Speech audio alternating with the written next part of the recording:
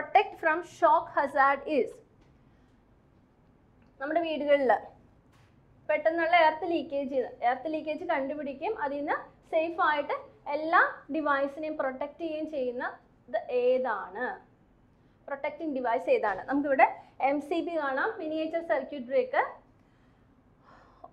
oil circuit breaker A B C B air break circuit breaker അതിനെയാണ് A B C B എന്ന് പറയാം. Then E L C B earth leakage circuit breaker അപ്പോൾ ഏതാണ്? നമ്മൾ വീടുകളിൽ കണ്ടിട്ടുണ്ടാവും അല്ലേ? എനർജി മീറ്ററിനും മിനിയേച്ചർ എം സി ബിക്കും ഇടയ്ക്കായിട്ട് നമ്മൾ എന്ത് വെച്ചിട്ടുണ്ട്? നേരെ E L C B earth leakage circuit breaker അപ്പോൾ അത് റെസിജൽ കറണ്ട് ഏതെങ്കിലും രീതിയിൽ കറണ്ട് ലീക്ക് ആവുന്നുണ്ടെങ്കിൽ എർത്ത് വയറിൽ കൂടെയോ കറണ്ട് ലീക്ക് ആവുന്നുണ്ടെങ്കിൽ അത് സെൻസ് ചെയ്ത് പ്രോപ്പറായിട്ട് അത് സർക്യൂട്ട് ട്രിപ്പ് ചെയ്യിച്ചോളും സർക്യൂട്ട് ട്രിപ്പ് ആയിക്കോളും. ഓക്കെ അപ്പോൾ അതാണ് എർത്ത് ലീക്കേജ് സർക്യൂട്ട് ബ്രേക്കറിന്റെ വർക്കിംഗ് വരിക ഏത് ഫോൾട്ട് കണ്ടീഷനിലും അത് ആക്റ്റീവായിട്ട് വർക്ക് ചെയ്യും. ഓക്കെ ഇത് ശരിക്കും പറഞ്ഞാൽ ഇതിന്റെ principles based on residual current ആണ് നോട്ട് ഓൺ വോൾട്ടേജ് അതും ചോദിക്കാം. Earth leakage circuit breaker based on the principle of what residual current കേട്ടോ? അപ്പോൾ ഇത്രയും കാര്യങ്ങൾ ഇത്രയും കാര്യങ്ങൾ ഓർത്താൽ മതി. അപ്പം നമുക്കൊരു ഐഡിയ ഉണ്ടല്ലോ. ഇത് എവിടെയാണ് ലൊക്കേഷൻ ഇതിന്റെ ലൊക്കേഷൻ എവിടെയാണ്? എനർജി മീറ്ററിനും ലോഡിനും ഇടയ്ക്കില്ല അതായത് മിനിയേച്ചർ സർക്യൂട്ട് ബ്രേക്കറിനും ഇടയ്ക്കാണ് ഈ എൽ സി ബി വരിക. ദെൻ അടുത്ത ക്വസ്റ്റ്യനിലേക്ക് പോവാം. The maximum distance between the pole and meter board of an overhead service connection is what അതായത് ഇത് നോക്കൂ ഇത് നമുക്ക് ഒരു എക്സാമ്പിൾ ആണ്. ഇതിൽ നമുക്കൊരു പഴയ പഴയകാല സിസ്റ്റമാണ് നമ്മൾ കാണുന്ന ഒരു ടെക്സ്റ്റ് ബുക്കിൽ നിന്ന് എടുത്തതുകൊണ്ട് ഒത്തിരി നാൾ മുമ്പത്തെ ഒരു വീടും അതിലേക്ക് പോസ്റ്റിൽ നിന്ന് വരുന്ന വയറുമാണ് നമ്മൾ ഇതിൽ കാണുന്നത്. പോസ്റ്റ് ഓവർ ഹെഡ് ആയിട്ട് wire എടുത്തേക്കുവാണ് into the energy meter of the consumer premise അല്ലേ? അപ്പോൾ ഇതിന്റെ ലെങ്ത് ആണ് നമ്മുടെ ക്വസ്റ്റ്യൻ വന്നിരിക്കുന്നത് മാക്സിമം ഡിസ്റ്റൻസ് എന്ന് പറയുന്നത് തേർട്ടി ഫൈവ് മീറ്റർ ആണ് കേട്ടോ അപ്പോൾ answer is thirty five meter അതുപോലെ തന്നെ ഈ ഒരു കേസ് നമുക്ക് രണ്ട് രീതിയിൽ ചെയ്യാം. P V C cable use ചെയ്യാം. പി വി സി കവേർഡ് ആയിട്ടുള്ള കേബിൾ യൂസ് ചെയ്യാം. അതല്ലെങ്കിൽ ബെയർ കണ്ടക്ടർ യൂസ് ചെയ്യാം.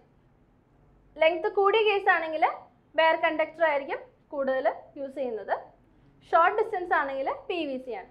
അതുപോലെ തന്നെ വേറൊരു ഓപ്ഷനാണ് സർവീസ് കണക്ഷന്റെ എന്ത് അണ്ടർഗ്രൗണ്ട് അത് മോർ ബ്യൂട്ടി അതുപോലെ തന്നെ സിറ്റി നല്ല ക്രൗഡഡ് ആയിട്ടുള്ള ഏരിയാസിലെല്ലാം എന്താണ്?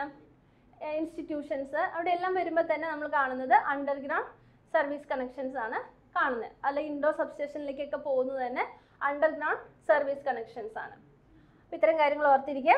അപ്പോൾ അടുത്ത question which material is used for separating the heating element from the sole plate of an iron box ഇവിടെ വന്നിരിക്കുന്നത് ഏതാ? ഏത് ഡിവൈസ് ഇവിടെ വന്നിരിക്കുന്നത്? അയൺ ബോക്സ് ആണ്. അയൺ ബോക്സിന്റെ ഒരു സ്ട്രക്ചർ നമുക്ക് അറിയാവോ? ഇവിടെ ചോദിച്ചേക്കുന്ന ഒരു ക്വസ്റ്റ്യൻ അയൺ പ്ലേറ്റിന്റെ ഏറ്റവും താഴെ കാണുന്ന തകിടില്ലേ? അതിനെ പറയുന്ന പേരാണ് സോൾ പ്ലേറ്റ് എന്ന് പറയുന്നത്. സോൾ പ്ലേറ്റ് ഈ സോൾ പ്ലേറ്റും ഹീറ്റിംഗ് എലമെന്റിന്റെയും ഹീറ്റിംഗ് എലമെന്റ് എന്ന് വെച്ചാൽ ഒരു വയർ ആയിരിക്കും. നിക്രോം വയർ ആ നിക്രോം വയറിന്റെയും ഇടയ്ക്ക് ഒരു ഇൻസുലേറ്റർ ഉണ്ട്. സോൾ പ്ലേറ്റിന്റെയും ഹീറ്റിംഗ് എലമെന്റ് ഒരു വയറിൽ നമ്മൾ കറണ്ട് പാസ് ചെയ്യുമ്പം അത് ഹീറ്റ് ആവുന്നു അല്ലേ?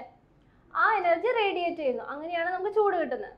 അപ്പോൾ ഇതിന് രണ്ടിന്റെ ഇടയ്ക്ക് ഒരു ഇൻസുലേറ്റർ ഉണ്ട്. ആ ഇൻസുലേറ്റർ ഏതാണെന്നാണ് നമ്മുടെ ക്വസ്റ്റ്യൻ ഇപ്പോൾ ഇവിടുത്തെ ഓപ്ഷൻസ് നോക്കുകയാണെങ്കിൽ mica celluloid paper leatheroid paper പോസിലേറ്റ് അപ്പോൾ ഏതാ ഓപ്ഷൻ ഏതാ കറക്റ്റ് ഓപ്ഷൻ ആ ഓപ്ഷൻ എ ആണ് കറക്റ്റ് ആയിട്ട് വരിക. മൈക്ക ഷീറ്റ് ആണ് ഇതിന്റെ രണ്ടിന്റെയും ഇടയ്ക്ക് വന്നിരിക്കുന്നത്. അതുപോലെ തന്നെ ഇതുണ്ടോ ഇതാണ് നമ്മൾ കാണിച്ചിരിക്കുന്ന പിക്ചർ അപ്പോൾ ഏറ്റവും താഴെയുള്ള സോൾ പ്ലേറ്റിന് മുകളിലായിട്ട് നമ്മൾ ഇതിൽ കാണിച്ചിരിക്കുന്ന മൈക്ക ഷീറ്റ് ആണ്. ഈ മൈക്ക ഷീറ്റിന്റെ മുകളിൽ എന്താണ്? നിക്രോം റിബൺ കൊടുത്തിട്ടുണ്ട്. അതാണ് ഈ വയർ കാണിച്ചിരിക്കുന്നത് കേട്ടോ. ദിസ് ഇസ് നിക്രോം റിബൺ അതുപോലെ തന്നെ there are two contact strips സപ്ലൈയിലേക്ക് connect ചെയ്യാനായിട്ട്. There are two contact strips പിന്നെ ഇതിന്റെ മുകളിൽ ഒരു പ്രഷർ പ്ലേറ്റ് ഉണ്ട്. ഇതിന്റെ മുകളിലായിട്ട് ഒരു പ്രഷർ പ്ലേറ്റ് ഉണ്ട്. അതുപോലെ തന്നെ നമ്മൾ അയൺ ബോക്സ് പിടിക്കുമ്പോൾ നമുക്ക് ചൂടടിക്കുകയില്ല. കാരണം എന്താ? അവിടെ വേറൊരു സംഭവം കൂടെ വെച്ചിട്ടുണ്ട്. എന്താണത്?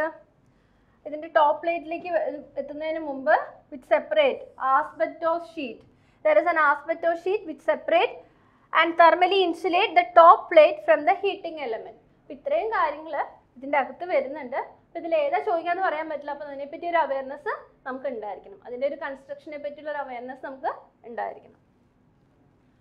The minimum insulation resistance between conductor to earth of the domestic applications നോക്കൂ ഇത് മിനിമം ഇൻസുലേഷൻ റെസിസ്റ്റൻസ് ആ ചോദിച്ചേക്കുന്നത്. കൺഫ്യൂസ്ഡ് ആവരുത്.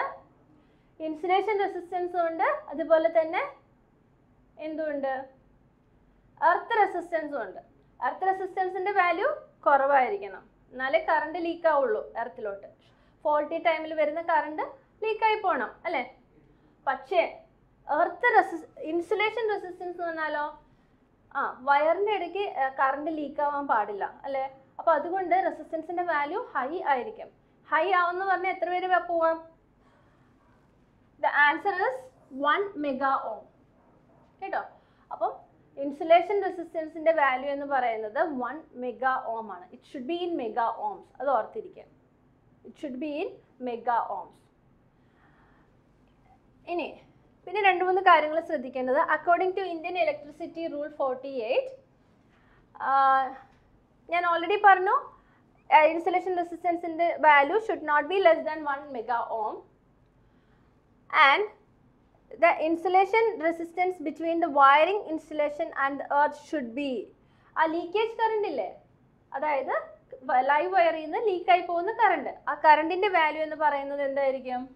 It should be point zero percentage of the full load current കേട്ടോ. അതുപോലെ തന്നെ സപ്ലൈ വോൾട്ടേജിന്റെ പെർസെന്റേജും പറഞ്ഞിട്ടുണ്ട്. Voltage drop permissible voltage drop എന്ന് പറയുന്നത് two percentage of the supply voltage plus one ആണ്. ഇത് ലൈറ്റിംഗ് സർക്യൂട്ടിന്റെ കേസാണ് അതുപോലെ തന്നെ ഇൻഡസ്ട്രിയൽ സർക്യൂട്ടിൽ വരുമ്പം ഈ വോൾട്ടേജ് ഡ്രോപ്പ് എന്ന് പറയുന്നത് പെർമിസിബിൾ വോൾട്ടേജ് ഡ്രോപ്പ് എന്ന് പറയുന്നത് കുറച്ചും കൂടി കൂടുതലാണ്. Five percentage of the supply voltage വരുന്നുണ്ട്. അപ്പോൾ ഇത്രയും കാര്യങ്ങളാണ് ഇൻസുലേഷൻ റെസിസ്റ്റൻസിന്റെ ഏരിയയിൽ നമ്മൾ ശ്രദ്ധിക്കേണ്ട കാര്യങ്ങൾ. അപ്പോൾ സെയിം ക്വസ്റ്റ്യൻ തന്നെ പല രീതിയിൽ ചോദിക്കാം. ഇതുപോലെ ചോദിക്കാം വൺ ബൈ ഫൈവ് തൗസൻഡ് അല്ലെങ്കിൽ point zero two percentage of the full load current അല്ലെങ്കിൽ എങ്ങനെ ചോദിക്കാം? വോൾട്ടേജിന്റെ ടേംസിൽ ചോദിക്കാം. അപ്പോൾ ഏതാണേലും ഓർത്തിരിക്കാം.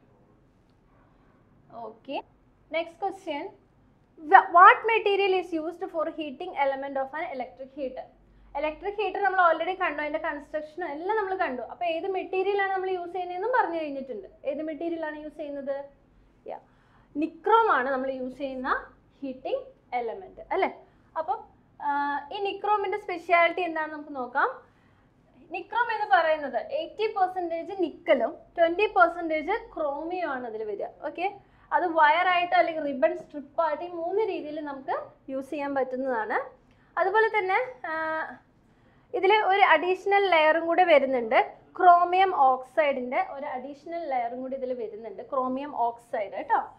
അതിന് അതുകൊണ്ട് എന്താ advantage the material will not oxidise preventing the wire from breaking or burning out അപ്പം ഈ ഒരു അഡ്വാന്റേജ് ആണ് ക്രോമിയം ഓക്സൈഡ് വരുന്നതുകൊണ്ട് അഡീഷണൽ ലെയർ വരുന്നതുകൊണ്ട് നിക്രോമിന് കിട്ടുന്നത്. ഓക്കെ